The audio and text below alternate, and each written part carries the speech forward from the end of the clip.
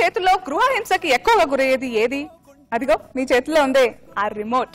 ఉన్న ఛానల్స్ అన్నీ చూస్తూ ఉంటారు. ఏ ఛానల్ చూడాలో కూడా తెలియకుండా ఛానల్స్ మార్చేస్తూ ఉంటారు. అలా టీవీ ఛానల్స్ మార్చి మార్చి చూస్తూ మనల్ని నవ్వుల్లో ముంచెత్తడానికి ఇప్పుడు వచ్చేస్తున్నారు వేణు వండర్స్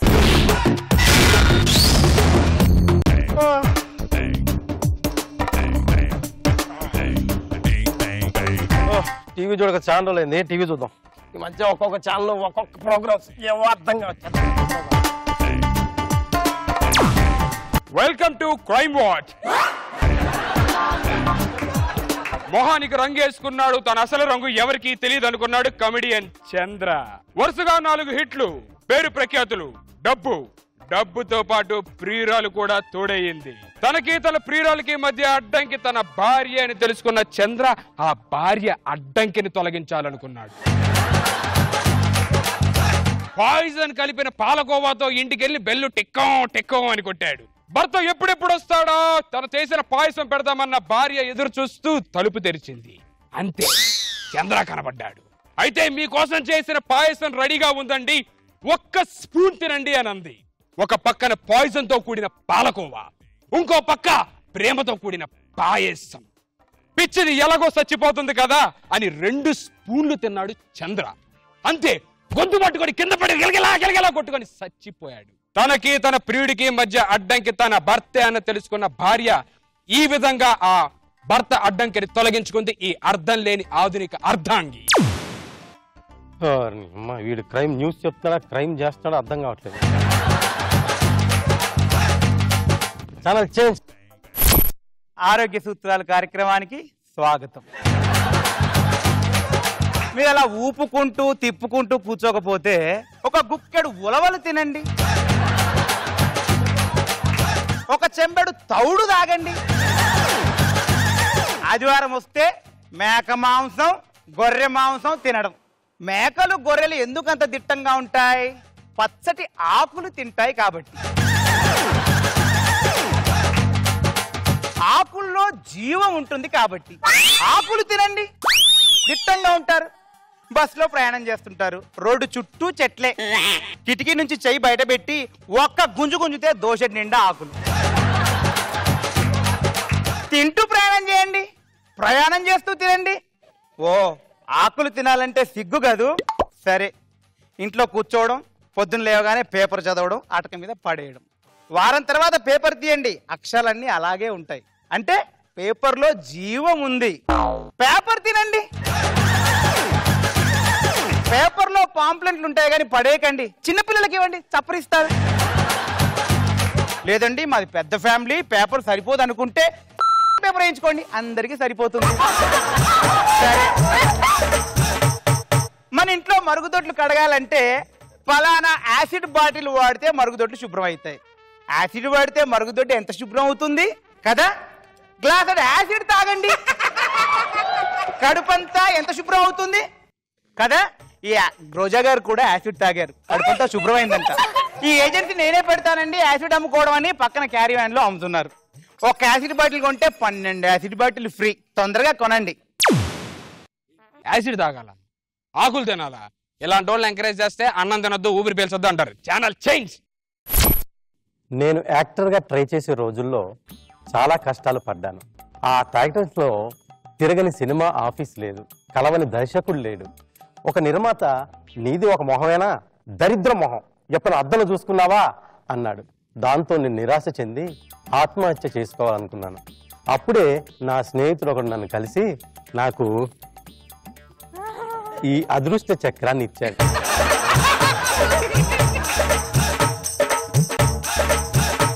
ఇది వేసుకున్నాను. అంతే. నాకు అదృష్టం దరిద్రం పట్టినట్టు పట్టింది. అవకాశాలు వాటంతట అవే కన్నుకుంటూ వచ్చాయి. నీది ఒక మొహమేనా? దరిద్రం మొహం అన్న నిర్మాతే నన్ను హీరోగా పెట్టి పోతా నాశనమైపోతా అనే చిత్తాన్ని తీశాడు.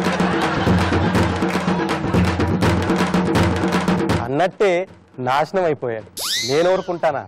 అతనికి కూడా ఈ అదృష్ట చక్రాన్ని ఇచ్చాను. అంతే అతను రెట్టింపు ఉత్సాహంతో మళ్ళీ నాశనం అయిపోతా అనే సినిమాతో ముందుకొచ్చాడు మీరు నాశనం అయిపోవాలనుకుంటే ఈ అదృష్ట చక్రాన్ని ధరించండి.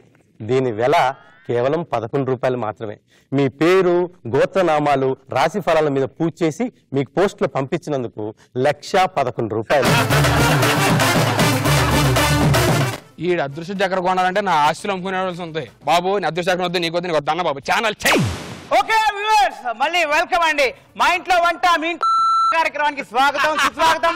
ఈ రోజు మన స్టూడియోలో తనకి ఇష్టమైన వంట చేయడానికి ప్రముఖ కమెడియన్ చిత్రం సీన్ గారు వస్తున్నారు please welcome sir hi sir how you I'm fine guy చెప్పండి సార్ ఈ రోజు మా ప్రేక్షకుల కోసం మీరు ఏ వంట చేయబోతున్నారు? తొండ ఫ్రై. అదేంటి సార్ తొండ ఫ్రై ఏంటి? కమిడియన్ కదా కొంచెం జోక్ చేశానయ్యా. సార్ అంత కామెడీ మా జనాలకు అర్థం చేసుకునేంత శక్తి లేదండి. మామూలుగా చెప్పండి. Chicken sixty five. చిత్రం గారు మన కోసం మన ప్రేక్షకుల కోసం చికెన్ సిక్స్టీ ఫైవ్ చేయబోతున్నారు. చెప్పండి సార్. ఆ చికెన్ సిక్స్టీ ఫైవ్ ఎలా చేయాలి? ఫస్ట్ మనం స్టవ్ పెట్టాలి. స్టవ్ అది తెలియదు సార్ మాకు. స్టవ్ స్టవ్ వెలిగించాం. ఓకే. దాని మీద ఇప్పుడు గిన్నె పెట్టాలి. స్టవ్ గిన్నె పెట్టాలి కదా సార్. భలే కామెడీ. ఓకే గిన్నె పెట్టాను. గిన్నెలో ఇప్పుడు మనం ఆయిల్ పోయాలి. సార్ సార్ అన్ని మాకు తెలిసింది చెప్తున్నారు. కొత్త చెప్పండి. చెయ్యరా నువ్వే చెయ్యి నువ్వే చెయ్యి. నేను ఎందుకు ఇక్కడ గెస్ట్ ఆగా? అన్నారు సీరియస్ అవుతారేంటి? కమిడియన్ అయితే కోపం రాదా? వాడికి ఎమోషన్ ఉండదా? ఏంట్రా? సారీ సార్ ఇది లైవ్ ప్రోగ్రామ్ అండి. రాళ్ళు బీలు చెప్పకూడదు. ప్లీజ్ రెడీ స్టార్ట్ కెమెరా ఇప్పుడు మనం దాంట్లో చికెన్ వేయాలి. చికెన్ ట్వంటీ ఫైవ్ ఎలా చేయాలో మన త్రీ గారు చెప్తున్నారు సార్ ఆ నూనె వేసా అన్ని వేసా. ఇప్పుడు చికెన్ ఏం చేయాలి? చికెన్ వేయాలండి. చికెన్ వేసానండి. ఓకే ఇప్పుడు అది ఉడకటానికి ఒక పదిహేను నిమిషాలు టైం పడుతుంది. ఓకే పదిహేను నిమిషాలు టైం పడుతుంది. చెప్పండి సార్ మీ కెరీర్ ఎలా స్టార్ట్ అయింది అసలు ఏంటి? సార్ సడన్గా లాంగ్వేజ్ మారిపోయింది? కెరియర్ గురించి అడిగారు కదా.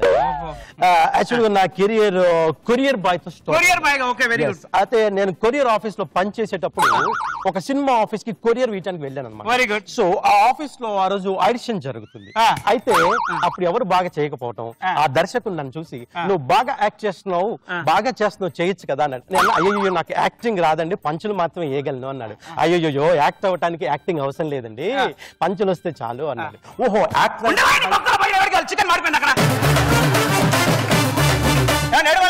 ఆ హోటల్ ఫోన్ చేసి చికెన్ సిక్స్టీ చెప్పండి ఏంటి? అయిపోయిందా? మటన్ ట్వంటీ ఫైవ్ కర్మ కర్మ. ఏమే ఆ మటన్ ట్వంటీ ఇష్టం అని చెప్పు. అదే చికెన్ సిక్స్టీ ఫైవ్ అన్నారు? లేకపోతే నువ్వు చెప్పు చికెన్ సిక్స్టీ ఫైవ్ తింటావా?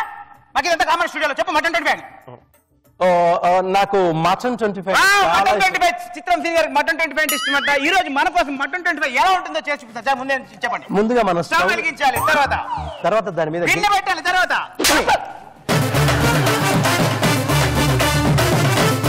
వంట కాదు. ఇప్పుడే అందిన వార్త మలమల క్రియేషన్స్ వారి సాంప్రసాయ్ రెడ్డి గారు నిర్మిస్తున్న జబర్దస్త్ అనే ప్రోగ్రామ్ బాగా రిచ్గా గ్రాండ్గా ఉండాలని చెప్పి అమెరికాలో షూటింగ్ చేస్తున్నారు. ఛానల్ తప్పు చెప్తున్నారు. జబర్దస్త్ కార్యక్రమం వెరైటీగా ఉండాలని చెప్పని శ్యామ్ ప్రసాద్ రెడ్డి గారు ఆఫ్ఘనిస్తాన్లో ప్లాన్ చేశారు. దానికి వసామా బిన్ లాడెన్ గారు జడ్జి గా వచ్చినట్టు చూచండి బిన్ లాడెన్ చచ్చిపోయి రెండు నెలలు అయింది ఎక్కడి నుంచి తీసుకొస్తారండి చాప్రదేశ్ కొత్తగా ప్లాన్ చేశారు పాకిస్తాన్లో ప్లాన్ చేశారు ఆ గడాఫీని ముషారఫ్ ఇద్దరిని తీసుకొచ్చారండి జడ్జి అట్టే కాకుండా కామెడీ చేసే వాళ్ళు నిజంగా కామెడీ చేయకపోతే అక్కడనే షూట్ చేయాలని ఒక ఆర్డర్ కూడా ఇచ్చారండి చూసి చూసండి ఒక ఒక్క నిమిషం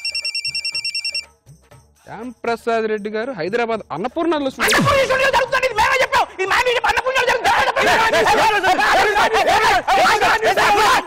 అన్నపూర్ణ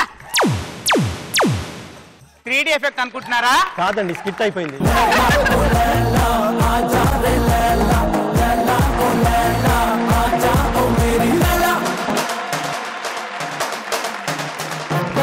చిత్రం సింగ్ గారు welcome to Jabardasth thank you thank you so how is it first ఒకసారి చిత్రం సింగ్ గారికి నా తరపున అండి నేను యాక్చువల్గా అన్నయ్య ప్లీజ్ రావాలి నాకు కొంచెం హెల్ప్ చేయాలంటే ఇంకా ఏం మాట్లాడకుండా నా కోసం వచ్చాడండి. మా గురువు యాక్చువల్గా ఓకే సూపర్ వేణు వండ సీన్ గురించి మన జబర్దస్త్ జడ్జెస్ ఏమంటారో విందాం. నాగబాబు గారు. వేణు సార్. ఇదే ఎక్స్పెక్ట్ చేసింది. సీను రావటం మీ గ్రూప్కి ఒక ప్లస్ స్ట్రెంగ్త్. స్ట్రెంగ్త్ సినిమాలోనే బాగా ముదిరిపోయావు Seenu stage. Very nice program Venu extraordinary super Roja గారు మొన్నేమో పిల్లలు పుట్టాలి అంటే డాక్టర్ నాగబాబు గారి దగ్గరికి వెళ్ళమన్నారు. ఇప్పుడేమో ఆ, యాసిడ్ రోజా గారు అమ్ముతున్నారు అంటున్నారు. ఓకే ఫస్ట్ సేల్ నేను మీకే కదా చేశాను. అప్పటి నుంచి మీ వాయిస్ ఇంత బాగా వస్తుంది అనుకుంటా అవునండి అందుకే కదా. నేను బాగా స్ట్రెంత్ అయినా అందరూ చెప్తాను ప్లీజ్ తాగండి? ఒకటి కొంటే స్ట్రెంత్ ఒకటి కొంటే పది ఫ్రీ అంటున్నా ఏంటి అసలు. బాగా నచ్చింది దాంట్లో అంటే పేపర్ అండ్ సూపర్గా ఉంది. ఆయన ఎంట్రీతోనే అదరగొట్టాడు. క్రైమ్ క్రైమ్ రిపోర్టర్ అలాగే ఉంటారు తెలుసా? చాలా బాగుంది మీ ముగ్గురు కాంబినేషన్ ఫ్రెండ్లీ కాంపిటీటర్స్ ఏమంటారు విందాం. ఇలా చేసేవేంట్రా? నెక్స్ట్ ఏం చేయాలరా ఇంకా?